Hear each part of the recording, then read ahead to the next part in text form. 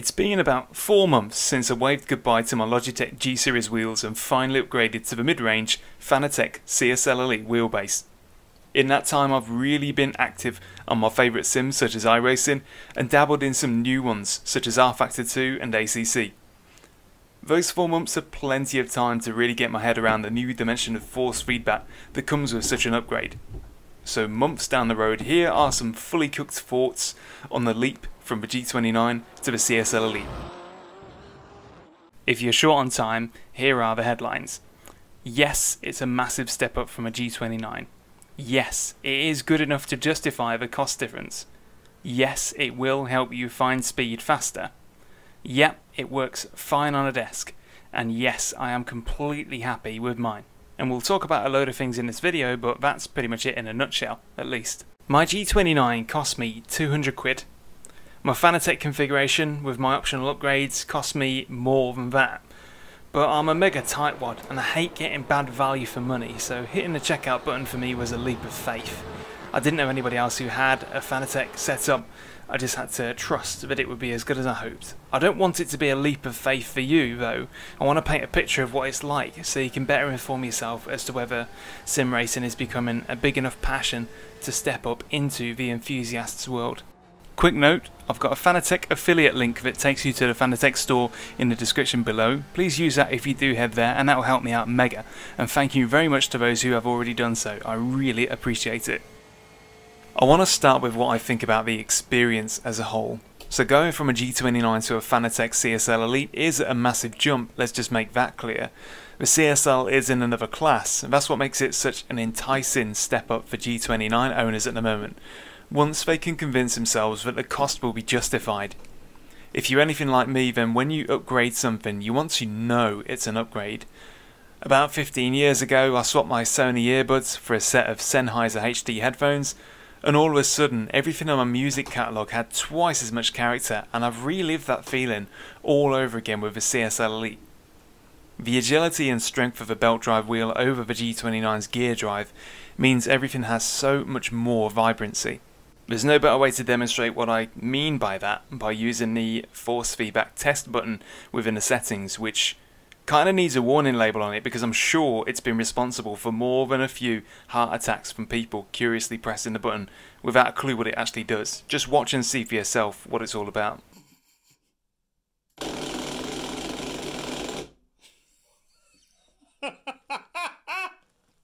It's thumb-snappingly powerful, and considering that the CSL Elite is the entry-level Fanatec belt drive wheel, when you first try it after coming from a G29, you might be thinking to yourself, if this is the entry level wheelbase, then why on earth would you need any more power than this? But obviously, you grow into it, you start to use it, but if you thought that it's somehow going to be weak because it's the lowest level Fanatec wheel, you're going to be pleasantly surprised. It's got enough torque for anybody.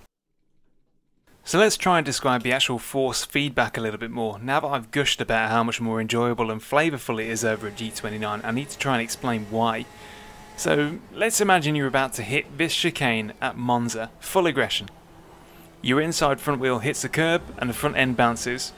If you do this on a G29 you will feel a little jolt but if you grip the wheel with any kind of force you can pretty much just ignore the forces that the sim is trying to communicate to you through the wheel.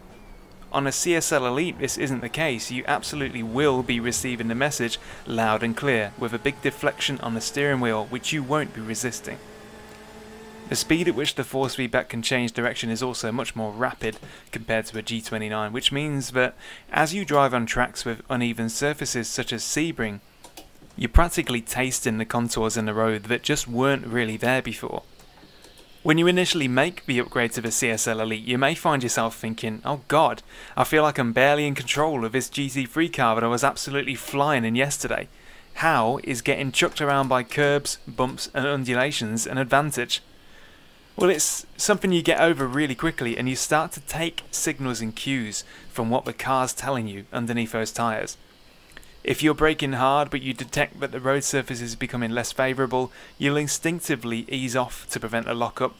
Or if you've run slightly wide on a corner exit and you can easily tell that your outside wheels are not yet off a danger zone, you're more likely to be able to control the throttle according to what your car's telling you. I also find that the differences in the force feedback languages between iRacing, Assetto Corsa and rFactor 2 are much more obvious and varied now, and certainly in the case of rFactor 2 it's easy to understand why it's held up as the best sim for force feedback, because I'm feeling a great amount more of what it was designed to do. The first time I strayed onto a, painted curb on rFactor 2 and felt the outside tyre slide across a smooth surface as it locked up, I was legitimately impressed with how authentic it felt. It's all with a belt drive that delivers force sufficient to really work your arms and lift the heart rate to put you in that zone where you start to trick your mind into being immersed. Since upgrading to the Fanatec CSL Elite, I can say that the rate of my mistakes has dropped quite a lot. On the G29 there were moments where you were certain that you nailed a corner but you still found yourself having an incident or losing the back end. You always kind of felt like you were on the edge, but the edge was just that little bit fuzzy, so it was hard sometimes to know if you were on the edge or over it. On my old wheel I'd have to put my spins down to running a bit too close to the limit and trying too hard and telling myself that if I want to make it the full race distance I need to just back off just a little bit now I can confidently say that this uncertainty is just no longer there. With the CSL, if I make a mistake, I can only really blame myself and I can tell what I did wrong straight away.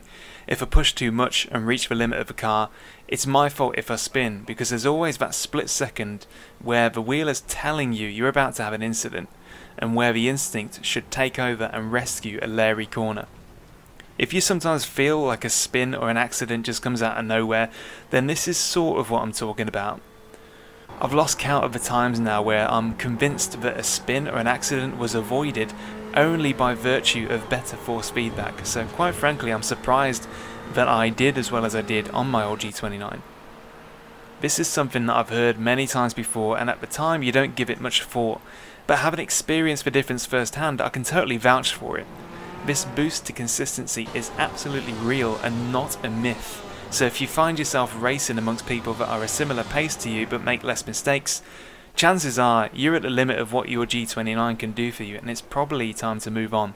So let's say you're feeling like it's time to make the move away from the G29. There's a Fanatec CSL Elite, yeah, but what about the Fanatec Club Sport wheelbase, or CSW as it's known?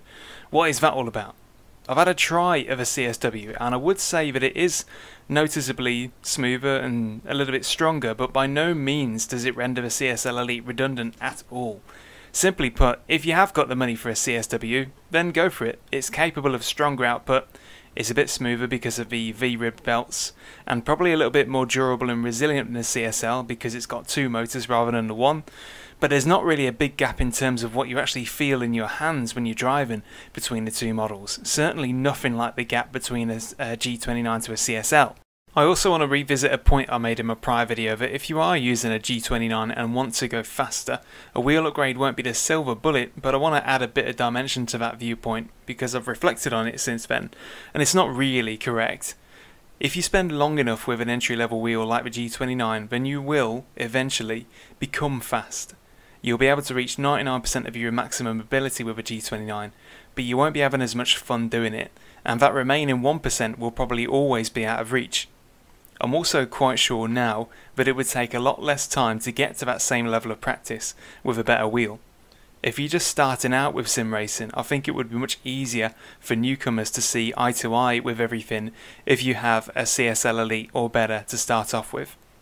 With that said, Logitech deserves credit for having been so many people's first encounter with racing wheels, and I'd be lying if I didn't just used to get on with it and have a great time in all my sims with uh, Live for Speed, Dirt Rally, the lot. And believe me, there are some guys in Eastern Europe who could whoop the lot of you in Live for Speed using just a mouse and keyboard. And let's face facts as well, a Fanatec wheel and pedal setup is going to cost at least two times what the G29 would have cost you, depending on what you add to it. And it's expensive for some demographics and exchange rates too, so it is more of a fork in the road than a step up the ladder because of it. But it's not the same as comparison between, let's say, a, a 20 quid spanner set from the DIY shop and a 200 quid set from Snap-on, where it's basically no different for 99% of stuff, unless you really, really like spanners. The first lap using a CSL after using a G29 for all those years was a real oh my god, awesome moment and if you're on the brink of spending a lot of money, that's exactly what you want to get. It's four months on from me, and that feeling has not gone away one bit. But not so fast, because there is one bad bit about Fanatec kit. I've had no problems with my own equipment, but I've got my fingers crossed that it stays that way, because whilst every manufacturer out there has to deal with the odd defect or dud, Fanatec customer service seems to be particularly slumbersome. This leads to people running a bigger gauntlet than they need to when things go wrong. So in the EU, I've heard stories about people having to post their equipment back to Germany at their own expense to be repaired, and it taking ages.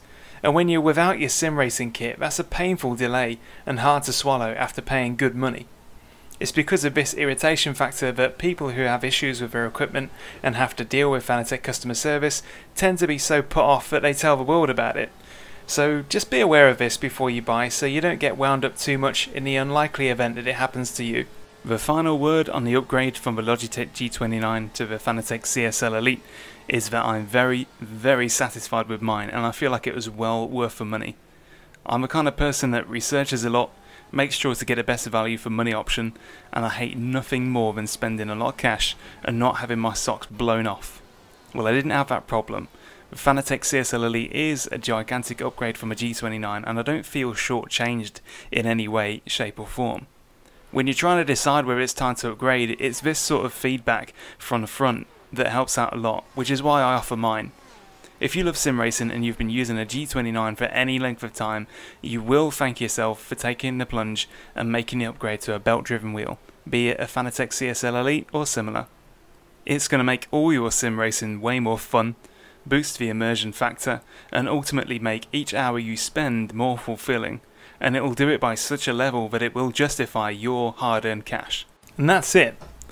Do comment if you got questions because I'll answer them pretty sharpish and leave your own feedback if you've already upgraded because that'll help others visiting this video to do the same. If you are going to upgrade, use the link in the description to go to the Fanatec site and it will help me out so much because Fanatec rewards affiliates with every purchase, so you'll be helping put money in my pocket without taking anything extra out of yours. Subscribe too if you haven't, and let's push this baby over a thousand subs. Thanks for sticking with me, and I'll see you next time.